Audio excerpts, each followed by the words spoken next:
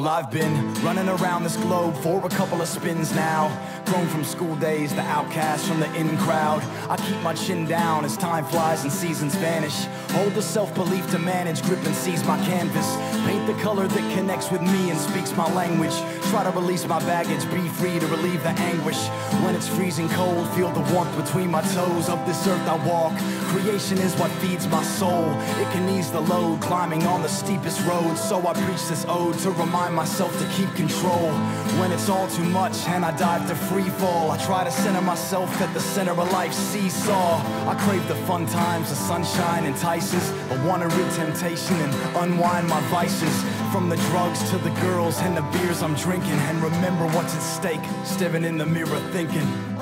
Well I've been down this road before. It's been one hell of a ride. The challenge is to balance on that fine line between the earth and sky. And I will wait for the morning sun till the way is clear as day. Well, okay, hallelujah. Now watch me take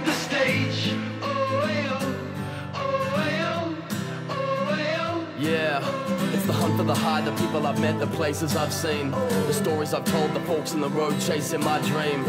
On the brink, stop and think. I'm telling you, dreams don't cost a thing. I know we all die alone, but I feel faith within that cosmic link. I surf the starlight where every wish is worthy. Only happy when you've got it often makes you miss the journey.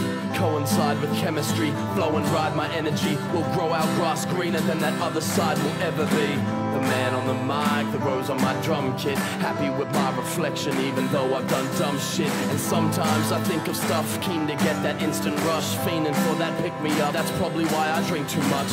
It's not the feeling of the high when you're running round. It's the friends that you find when you're coming down. From smooth sailing to foggy, rocky roads, I won't be faked by my reflection like that dog that dropped his bone. Well, I've been down this road before been one hell of a ride. The challenge is to balance on that fine line between the earth and sky. And I will.